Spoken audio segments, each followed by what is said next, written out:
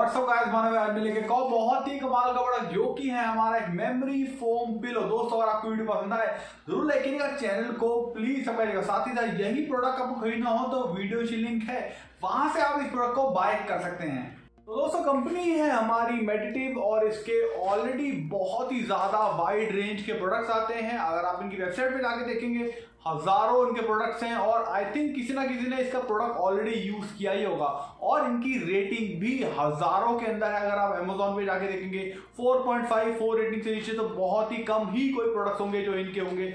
काफ़ी जानी मानी सी कंपनी है। तो ये इसका पिलो है, इसके अंदर हमारे तीन साइज़ आते हैं किंग क्वीन और थिन तो किंग के अंदर हम किंग पिलो के अंदर हमारा साइज़ आता है साढ़े चौबीस बाय साढ़े पंद्रह, जो कि हमारा साढ़े चार इंच मोटा होता है। और क्वीन के अंदर आता है बाईस बाय सवा चौदह इंच, जो कि हमारा ये भी साढ़े चार इंच मोटा होता है। और जो थिन जिसको ज़्यादा मोटा पिल्लो लेने की आदत नहीं है, थोड़ा पतला वाला भी शौक होता है उनको। तो उनके लिए भी अलग से पिलो है, जो 24 बाय 15 इंच का है। जो हमारा है 3.75 इंचेस का।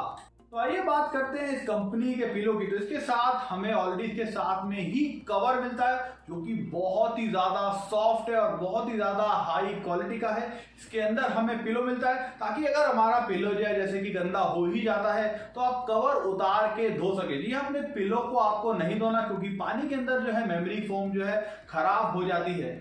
तो आइए बात करते हैं कि भैया मेमोरी फोम का पिलो लेना ठीक होता है कि नहीं? 1500 दो दो हज़ार रुपए के आपको मेमोरी फोम के पिलो मिलते हैं। कुछ उनका फ़ायदा होता है कि बस ऐसे ही महँगे हैं। नहीं भाई, ऐसा नहीं है।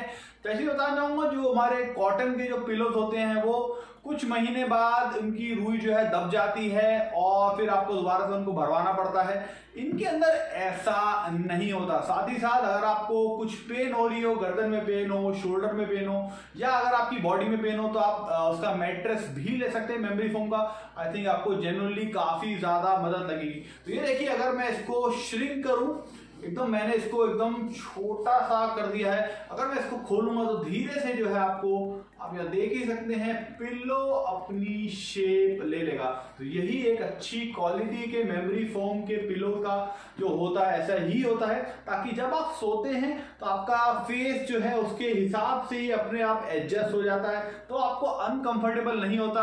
नॉर्मल पिलो में अगर आप जो जो कौन सा पिलो होता है फोम का पिलो होता है, उसके अंदर आप लगाते हैं तो वो सोएँगे तो थोड़ा ऐसे हो जाता है। इसके अंदर ऐसा नहीं होता। जहाँ आपका फेस है, उसके हिसाब से ही होता है आप आपकी गर्दन के हिसाब से अच्छे से जो है एडजस्ट हो जाता है। इसी तरीके से जो है आपकी बॉडी में जो है एडजस्टमेंट पेन ज़्यादा नहीं होती स्पेशली जैसा कि मैं ऑलरेडी एक पिलो को यूज़ कर रहा हूँ जो कि मेमोरी फोम का है तो मुझे जेनुअनली काफ़ी ज़्यादा फ़र्क लगा है। तो दोस्तों, ये है हमारा मेडिटिव कंपनी का मेमोरी फोम पिलो तो दोस्तों, बताना चाहूँगा कि भैया ऑलरेडी काफ़ी अच्छी क्वालिटी का लग रहा है, पर फिर भी मैं इसकी एक अलग से रिव्यू की वीडियो बनाऊँगा कि भैया 10-15 दिन में पर्सनली इसको यूज़ करके देखूँगा कि कैसा फील होता है। आई थिंक रिव्यू बहुत ही अच्छे ही होने चाहिए, क्योंकि क्वालिटी काफ़ी अच्छी लग रही है।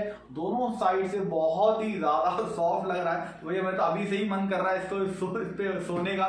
तो दोस्तों, आई थिंक अगर आपको यही प्रोडक्ट खरीदना हो तो वीडियो की लिंक है, वहाँ से आप इसको बाय कर सकते हैं। साथ ही साथ अगर आपको वीडियो पसंद आए तो लाइक करिएगा चैनल को प्लीज़ सब्सक्राइब कीजिएगा। Thank you